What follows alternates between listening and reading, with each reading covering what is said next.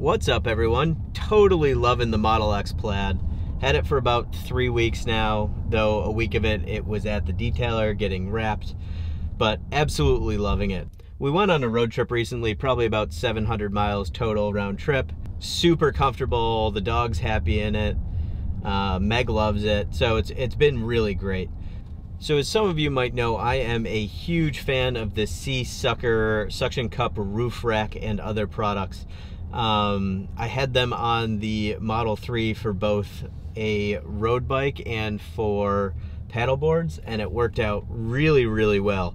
Problem is that this thing's got the Falcon doors and um, need to be a little bit more careful about where we put suction cups, um, both for pressure on the doors and hinges and stuff, but also if they're in the wrong place and the door or the trunk gets opened, we're gonna have a problem. So trying to avoid that.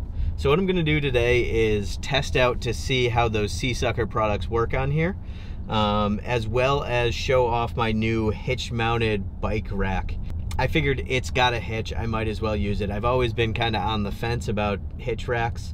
Um, something about hanging a massive amount of um, value off the back of a car that's going to be the first thing to get rear-ended sort of, sort of scares me, but whatever, say la vie, I'm going to give it a shot and, and see how it goes.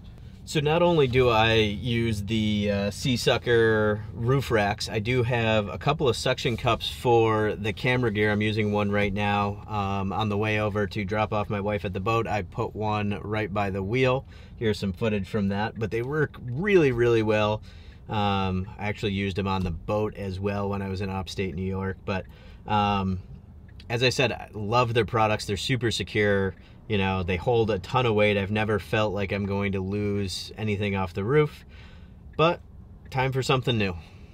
So the rack I've got from Sea Sucker for the bikes is a uh, mini bomber. Uh, it will hold two bikes as shipped, but I believe you can put um, racks on there for two more.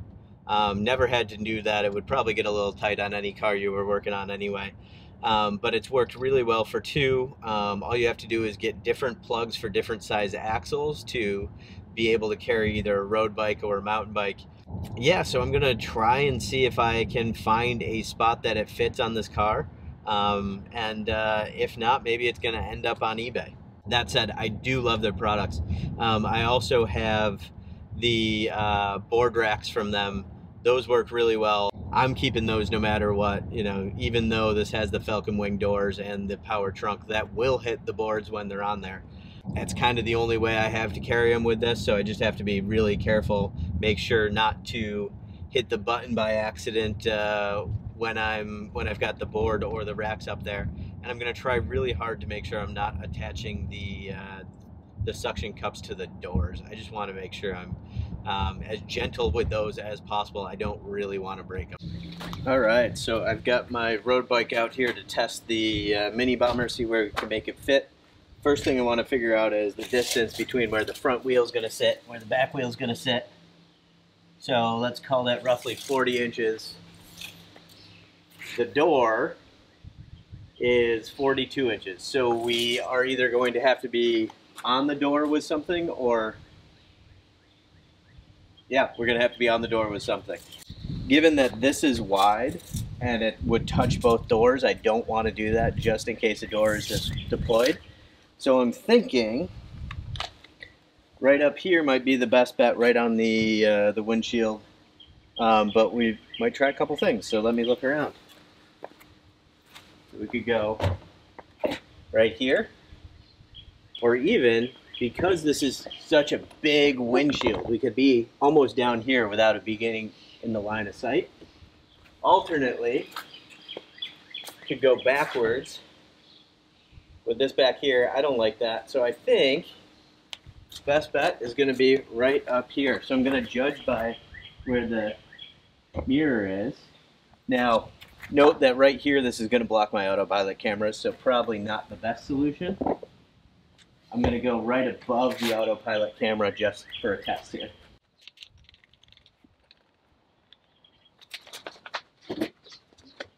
For those of you with big SUVs, you probably already know this, but good to have a stool sitting around, especially when you're washing it and stuff. Um, I got this after I got the car so I could wash it, but you know, for a couple bucks on Amazon.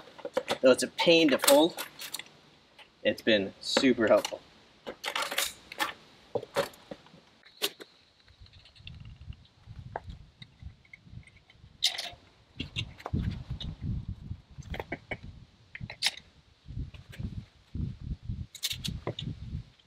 So as you can see, it definitely works.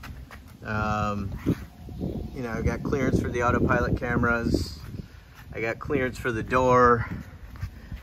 I would probably pull the entire thing back a little bit. And hey, it works. I would still use this if I hadn't found the other solution. Other problem is you still got to put a wheel in the car. It's dirty, it's gonna make a mess. I would say these are great for smaller cars, not so much tall stuff that you have to get on top of. Well, now onto the hitch rack. This one uh, requires a little extra effort as well. You got to put the hitch in. I'm not going to leave it in there. That's just my style. I don't want it hanging off the back, but some people could leave it in. But it comes in, you know, this little case here. Little blue wrap. I'll show that all to you. So this is the hitch accessory that comes with the car. This does not come with it. It's a nice locking uh, pin to hold the hitch or to hold any trailer in place. Keys for that. Um, keys for my uh, bike rack. And this key does come with it. You want to hang on to that. Another thing that doesn't come with it, this seven pin uh, power cable or power adapter. You can go either to a four pin or a five pin. Um, if you've got a new trailer, it'll come with something like this already attached, but older stuff won't. You're going to need that. And then finally, the hitch itself. It comes in a blue bag. I'm going to drop the camera for a second to get this up here. Sorry about that. Uh, but it comes in a blue bag because it will get greasy when you plug it in. So this is what it looks like. You've got a two inch uh, hitch on that side. You've got the spot for the key to unlock it. Let me show you how that works. To unlock it, you flip this up, you put the key in, you twist to unlock. So you're gonna lift up and then twist. Really hard to do one-handed, but I think you get the point. Once that's twisted, these pins will be unlocked, so you can just push it up into the receiver and it'll lock. You'll notice that I have a quarter here. This doesn't come with it, but good to keep in that little pouch. You'll need it for what's next. This might be a little blown out, but you put the quarter in your twist, you put the quarter in your twist, you kind of jimmy it loose, pull down a little bit on both sides, and then pull back. And now you have access to your hitch. Up in here, you've got the hitch goes in there, and then your plug goes in there. So pretty simply here, you take your hitch, jam it up in there, it'll lock. You take the key out, you twist this forward to make sure it's locked and your hitch is installed.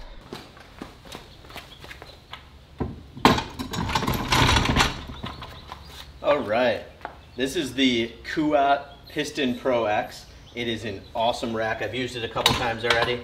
I'm not gonna put the pin in it because no need to lock it, do any of that stuff. But I am gonna plug it in and show you the brake lights a little bit later. But pretty much once the hitch is in, that's as easy as getting this thing on here pop it up, put a bike in. But real quick, just to show you, even with it up, total clearance for the trunk, which is just absolutely awesome. But anyway, so it's as easy as putting it in, all the hardware is self-enclosed, you tighten it down there, all the stuff locks in. There is a bike lock piece here. As I said, you pop these up,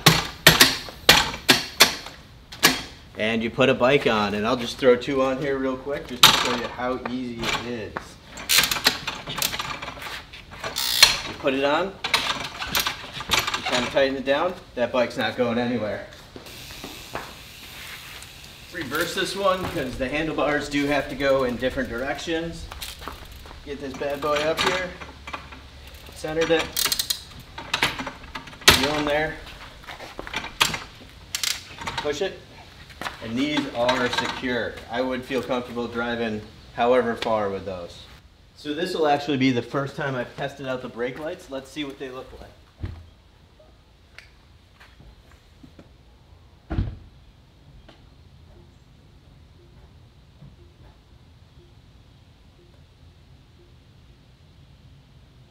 So that's basically it. It's the Kuat Piston Pro X Thing is awesome. I'll leave a link in the description below, just like I will for the Seasucker racks. As I said, I still love those, but if I'm really gonna pull bikes, if I'm gonna go on a long distance, this is better. They're easier to get on and off. They're probably more secure at speed. You're not putting pressure on your doors. Um, and frankly, I can lock them on here and all that stuff. Um, finally, aerodynamics, better? Probably. Not testing it, but uh, you know, I would assume it's pretty good.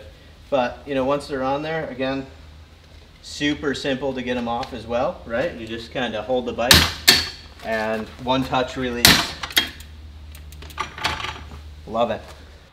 Now you might be wondering, what do you do with this huge rack when uh, you're not using it?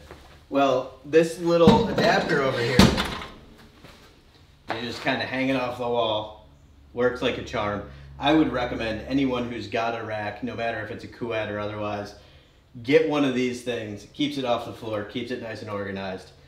So if you want to see the full reviews of the Seasucker Mini Bomber or the Seasucker board racks, I'll put them in a link. I believe it'll be up over here, but uh, have a look. Um, those are full review with the Model 3. As I said, they don't quite fit perfectly on this, but they're still a great option if you don't want to uncover your hitch every time. All right, don't worry. We're waiting for a drawbridge to, to close, so she's just sitting on my lap for a second here. But if you like the video, give me a thumbs up. If you want to see more, hit the subscribe button. And thanks for watching. See you next time.